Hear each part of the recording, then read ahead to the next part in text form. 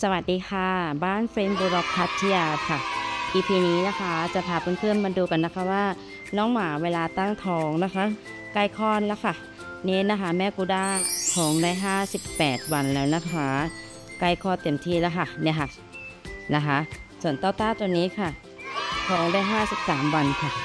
และเรียกกันนะคะ น้องหมาส่วนมากที่ท้องกินเก่ง นอนเก่งนะคะ แล้วก็โรคส่วนตัวสูงครับ แล้วก็สอตัวนี้ที่เขาอยู่ในกรงเพราะเขาอยากอยู่ในกรงเองนะคะเนี่ยค่ะในกรงขี้ร้อนกับนอนทางอาหารฉายแบบนี้เลยนะคะ ปล่อยกรงออกมาเขายังไม่อยากออกเลยนะคะ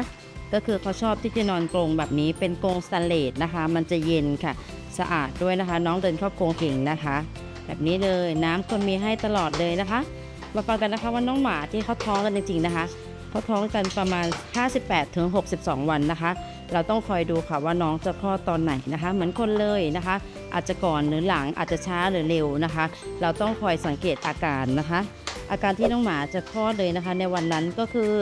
น้องจะไม่กินข้าวเลยนะคะ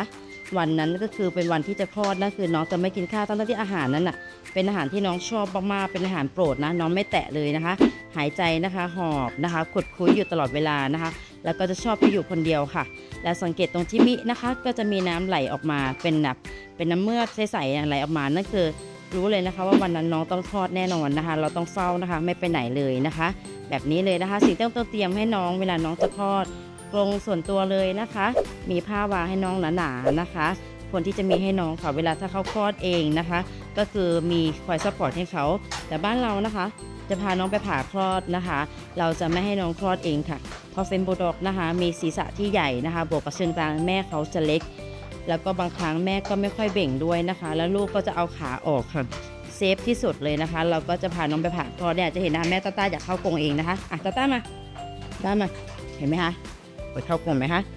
เห็นไหมเขาจะอยากเข้ากรงเองเลยนะคะ เพราะว่า หมาที่เขาท้องนะคะเขาจะมีโรคส่วนตัวสูงนะคะ เห็นไหมคะจะเห็นเลยนะคะว่าเราแทบจะไม่ได้บังคับน้องเลยนะคะเขาเองอยากจะเข้ากรงเองนะคะเนี่ยค่ะแบบนี้เลยเขาจะอยู่ในมุมของเขาส่วนตัวของเขา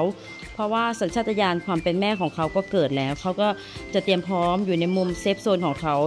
เพื่อที่แบบว่าจะเตรียมพร้อมอการคลอดลูกประมาณนี้นะคะ อาการพวกนี้นะคะจะมีนะคะช่วงที่น้องใกล้คลอด ก็คือท้อง 50 วันขึ้นไปนะคะ เขาจะเดินเข้ากรงเองแบบนี้เลยนะคะเนี่ยค่ะที่เห็นที่แจ้งก่อนหน้านั้นค่ะ แต่ 2 ตัวนี้เขาอยู่ด้วยกันได้นะคะ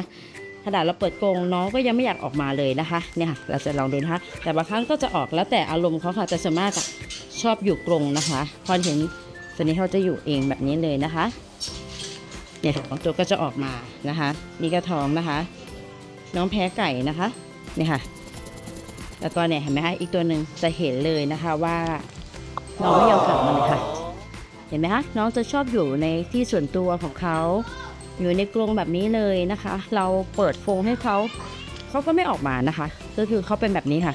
บ้านเราก็จะเลี้ยงน้องประมาณนี้นะคะส่วนมากเองจะเห็นไหมจะปล่อยนะคะ เนี่ยจะออกมานิดนึงยืดเส้นยืดสายแล้วก็จะเข้าไปค่ะแบบนี้เลยนะคะ ชอบนอนในกรงนะคะ มีพื้นที่ส่วนตัว